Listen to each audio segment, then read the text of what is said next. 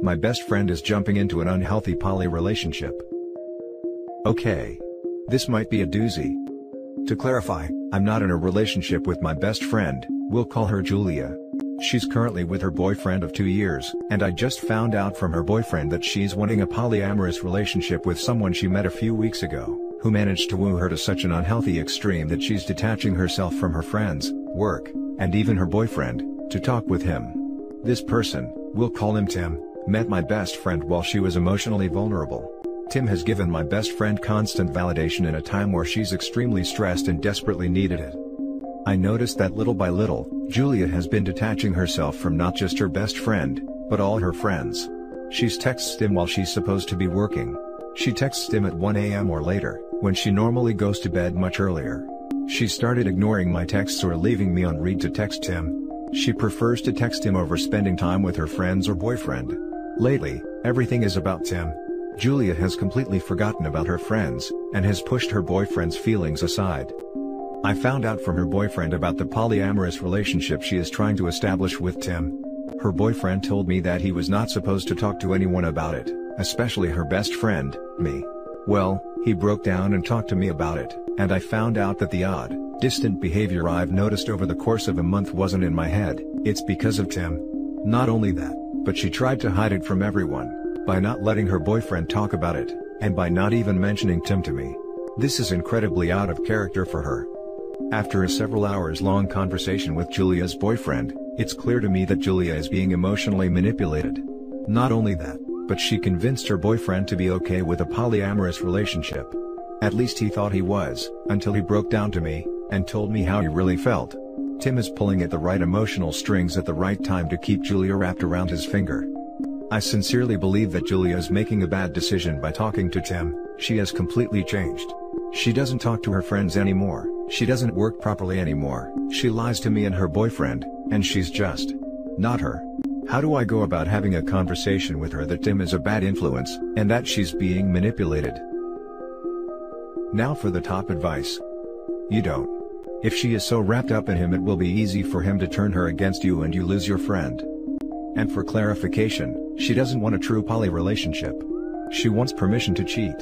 Poly is a real thing. But that's not how that works. Sadly, this is one of the times you let her crash and burn. Only thing I would do if I were you, is tell her BF to break up with her. I realize this is absolutely not the norm, but I feel like I'll sometimes hear about very emotionally manipulative guys who use the cover of poly, as a way to justify them building a small harem of women around them. Again, I want to be clear this is an exception, but it feels like an archetype I've seen more than once. Pretty interesting. In this situation, you might not be able to convince her that she is being manipulated, and you should come to terms with that before you have the conversation with her. In the end, it's her life and her decision to choose either Tim, or her other obligations. To choose to sleep, to text during work, etc. She may be being manipulated, but she isn't being forced to make any of these decisions. In that way, you have to accept that part of her wants to be with Tim instead of her boyfriend or other friends. Her boyfriend, first, needs to be honest that he doesn't want a poly relationship. You and her friends just need to let her know that you love her and you want to spend more time with her, and it makes you sad that she lies to you. That's probably the first step, instead of trying to convince her to believe in your perception of her life. She might feel attacked and distance herself even further. Good luck. This right here. Whatever your estimation of the health of the potential relationship, no matter the red flags, new relationship energy is a serious bastard. Convincing her that anything is wrong, may prove impossible. Encouraging good communication from everyone and letting her know your own feelings honestly is all you can do. Some people need to go through crap like this, sometimes multiple times, before they figure out how to be cautious with new relationships. They're both being manipulative dude. Julia manipulated her boyfriend into a poly relationship just as much as Tim is manipulating her into a poly relationship. Try to save your friend by all means. But it might be best for her boyfriend to move on if Julia refuses to change. Even if she does change, I think the boyfriend should move on. She's already cheating, she doesn't get a pass just because she slapped a fake poly label on it. Now for the second story. My, 24 male, girlfriend, 21 female, is weirdly intimate with her supposed best friend, 21 male. So, about a year and a half ago I started dating this girl. She already knew this other guy I'm going to talk about for some time, not much more. They were mates at university, and since when I met her they were together, I immediately noticed they were extremely intimate. I was sure they were dating actually. I was clearly wrong, since she was the one to hit on me and we started dating. We dated for a few months and I rarely saw the guy, she kept both worlds separated as much as she could. Still, I know they spent a lot of time together and was a bit jealous, but she told me not to worry about it. I was not really worried, we were clearly a lot into each other. After a few months we broke up. Because I got a job abroad and I didn't feel like long distance would work. We still kept in touch of each other. Couple of months ago she moves abroad, not to the country where I'm working, and after a bit we agree I would visit her. We decide we should try long distance. When she visited me last week, I couldn't help but notice she still texted a lot with the guy, I mean why not, he is her best friend.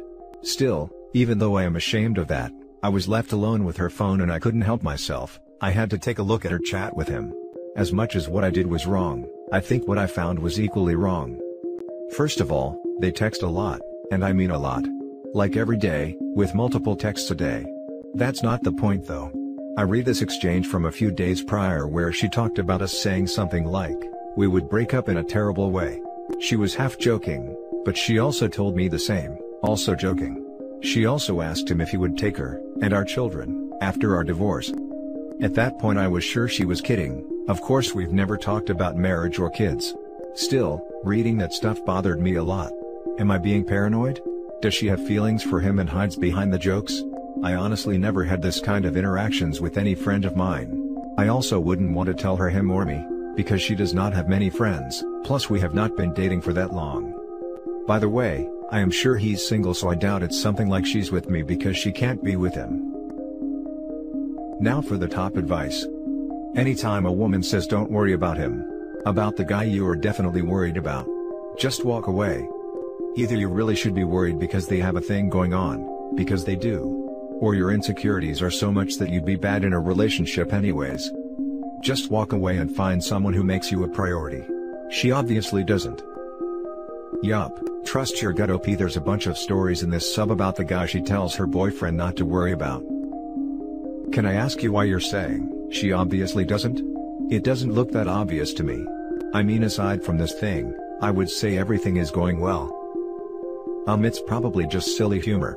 Like I have a friend and we always joke if we're not married by a certain age, we'd marry each other, which we never actually would. If the interaction makes you uncomfortable, then you may have to decide if this is the relationship for you. Because she probably see this as harmless, and is unlikely to stop these interactions. How can you be sure about that though? I mean you can be sure you would never, not that he or she would never. I don't think you are paranoid. If that makes you uncomfortable, you should bring it up and determine if that is a deal breaker. What she said to the guy does come off kind of in a flirtatious way in my opinion, and I'm a girl. My current BF, when I was single, I joked with him about making a pact to get married by 27 if we were still single. Although I was saying it jokingly, I was seriously down.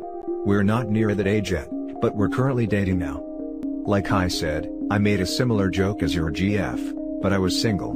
I can't see any reason why I would say that to any of my guy friends when I'm with someone else. But that's just me. What scares me the most is the fact that looking at the answers I got, basically all of the girls are implying she probably has feelings for him. To be honest I'm sure she also has feelings for me, she clearly showed that. But I'm not sure I can actually be with someone insecure about the way they feel about someone else. I'll try to talk to her as honestly as I can, even though I hate admitting I went through her phone. Unfortunately, I'll have to wait, I really don't want to do this over WhatsApp or via webcam. Now for the next story. My girlfriend, 20 female, might break up with me, 20 male, because God told her to. My girlfriend and I have been in a great relationship for three years now. I love her and I've never once thought about breaking up with her. She is my best friend and I can't imagine being without her. That's why I have to come here, because any thoughts I have won't be from a neutral perspective. About a week ago she told me that she wants to pursue a better relationship with God, understandable as she comes from a religious household. I thought it would be good for her and encouraged it. Yesterday she came out and told me that God told her she needs a season of independence to grow in her faith. I've never been very religious, so I didn't really know what she was talking about. She explained that she may break up with me to do some individual growing. This isn't the first time she has thought about breaking up with me. She may deny it, but there have been two times in the past where she has told me she was thinking about it. She says that she wants to remain friends and has the intention of getting back together with me, but I don't think I could do that. I think I would be too hurt to want to see her again. I'm torn up about it and I don't know what to think. She wants everything to go back to normal for the time being, and hasn't decided whether she's going to break up with me yet. I'm devastated. I don't even know what to think or how to feel. Should I end it now and on my terms? Should I wait and see what she decides? Any other suggestions? Thank you in advance. Now for the top advice. Holy crap, your girlfriend had a personal conversation with God? What's God like? Either that or your girlfriend is blaming her decisions on God to make it seem like it's not for some other reason. It kind of sounds like she wants to make you her backup plan while she's free to pursue other interests, aka other guys. I'm guessing it's option 2. This. She is using God as the reason for OP's breakup to remove any blame from herself. OP, don't let her string you along like that. Find someone that will appreciate and love you, and not blame God for her shortcomings and insecurities about the relationship. Why be with her when she is admitting to not being fully committed to you? End it now and save yourself the heartache. She's obviously not invested to the same degree that you are, and to be honest, this level of faithfulness hints at an underlying neuroticism that you're far better off without. When someone tells you, God is telling them to break up with you, you break up with them. One of two things is the case, either they believe it and no partner can compare to a deity, or they are looking to pull the ultimate, ha you have no answer for this argument, breakup card. Either way relationship over. Isn't there a third option? God really spoke to them and you should try to stay on their good side just in case it starts raining? Now for the final story. Help, a girl at my school is crying because I won't date her. Hey I'm just looking for advice so as to know how to handle this situation. Here's some background info, I'm in high school in Texas and here's the people in this story, me, me, S, my girlfriend, T and M, my best friends, and A, the girl who's the subject of the story. On with the story. When I was in middle school, on the day after Christmas break, I come back to first period to see that my seat's been moved and I'm sat near the new girl, A. At lunch, I introduce her to both D and M and to some other girls. I try to get to know her and make her comfortable through her move, and so that I wouldn't be her only friend, as I know how hard it is to switch schools. Now I have to say this, I was absolutely not romantically interested in her, and was trying to help out. This all blew up at the end of the year, as one day when me and T are waiting for M, him and a couple of people ran up to me in hysterics. I asked him what happened and when he tells me, I'm in shock. I walked into class to hear M talking to another one of our friends where they're talking about meeting at my house. This somehow, absolutely enrages A who starts yelling at them as they're taking me away from her. I wouldn't have believed any of this, but it was all recorded by someone in the class. This caused me to kinda cut her off, as I don't need someone yelling at my friends. Then, in freshman year where, she apologized and I accepted. When sophomore year starts, I ask out one of my friends who I've really liked, S. S is absolutely amazing, she's kind, caring, intelligent, and beautiful. I now tries anything to insult her, and trying to sabotage, with her and my friends D and M. S always shrugs this off as she's extremely strong, but all of us can see that it's getting to her, so I decide to talk to A. I ask her if she can please stop doing this as it's horrible to say what she's doing. She then starts crying and saying that she loves me, one, comma and that I need to be with her, and her only. I tell her no that I'm already with S, and I have no interest in dating her. She then starts crying again. S walks over trying to console A and what does A do? She freaking slaps her and tells her that she doesn't deserve me. I get up and start yelling at A, and out of anger, call her a psycho, to which she starts crying again as T, D's GF, and M are all attending to S. Now she's going after S, T, D's GF, and M. I talked to A when she said that she got attached to me, and wanted to date me. I told her no and she starts crying and yelling again. I just walk away and block her on everything that I have. Now A's friends know about this and are mad as I rejected her, when she loves me. A lot of people are supporting me, but some think that I horrible. What can I do to fix this? Now for the top advice. What can I do to fix this? Nothing. You need to learn one fact of life, you are not responsible for other people's happiness. If this chick can't figure out that you don't want to date her, that's her problem. Remove yourself from her life, stop interacting with her. If her and her friends are a problem, so be it. You're not going to have everyone in the world happy with you all the time. In addition to this, the more you get involved, the worse you make it for you and for her. She needs to learn how to deal with the fact that nobody is obligated to provide her with a romantic relationship, and the more you step in, the worse it'll be for her in her process of trying to get over this. She likes you, you don't like her back. She has to accept that, just like the rest of the world does. You did nothing wrong, the problem is her, and she is the one who has to deal with the situation. Now A's friends know about this and are mad as I rejected her when she loves me, you're not responsible for other people's feelings. You're under no obligation to date someone you don't want to, no matter how she feels about it.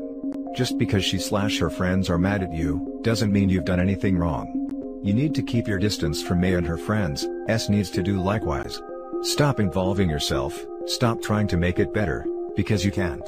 A is being unreasonable, and that's her problem, not yours. Also, I don't think she loves you in middle school, like sure but I doubt she really loves you, she doesn't even really know you. You are so young for all this drama. Yeah, I know, but I feel bad because she keeps crying about it and complaining to get others. I just don't know what to do with her always talking about it to others. And that's it for this video guys, if you have thoughts to share, leave a comment below.